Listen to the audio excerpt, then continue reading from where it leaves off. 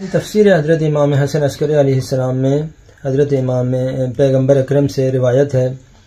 کہ پیغمبر اکرم صلی اللہ علیہ وآلہ وسلم نے فرمایا کہ جو شخص بھی وضو کرتا ہے تو اس کے تمام گناہ جو ہے وہ جب وہ چہرہ دھوتا ہے تو اس کے تمام گناہ، چہرے کے جو گناہ وہ معاف ہو جاتے ہیں، جو ہاتھ دھوتا ہے تو اس کے جو ہاتھوں کے تمام گناہ معاف ہو جاتے ہیں، سر کے اوپر مسا کرتا ہے تو اس کے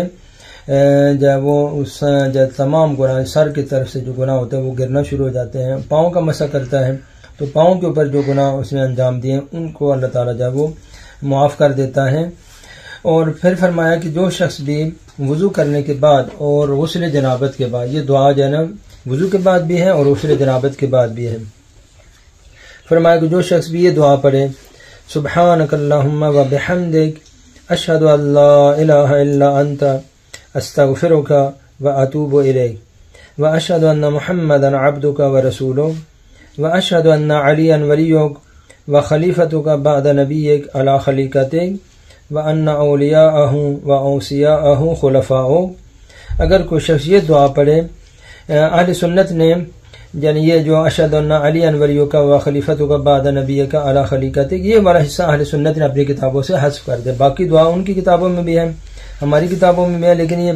علی انوری اللہ والا جو حصہ ہے، وہ انہوں نے اپنی کتابوں سے حذف کر دیا ہے۔ فرمایا کہ اللہ تعالیٰ وہ اس شخص نے جو وضو یا غسل کے اندر جتنے قطرے اس نے پانی کے استعمال کیے ہیں، اللہ تعالیٰ اتنے ملائکہ کو خلق کرے گا کہ جو قیامت تک اللہ تعالیٰ کی تسبیح و تقدیس اور سلوات پڑھتے رہیں گے اور اس کا ثواب جو ہے، اللہ تعالیٰ اس شخص کے نام عمل میں لکھے گا۔ تو یہ بہت ہی مبارک دعا ہے۔ میں دوبارہ اس کو تکرار کرتا ہوں۔ سبحانک اللہم و بحمدک، اشہد اللہ الہ الا انت، استغفرک و اتوب الیک،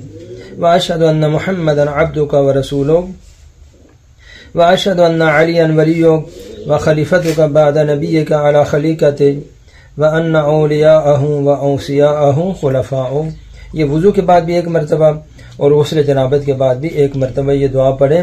تو اتنا عظیم ثواب ہے کہ اللہ تعالیٰ اس کے وضو اور غسل کے قطرات کے برابر ملائکہ کو خل کرتا ہے، جو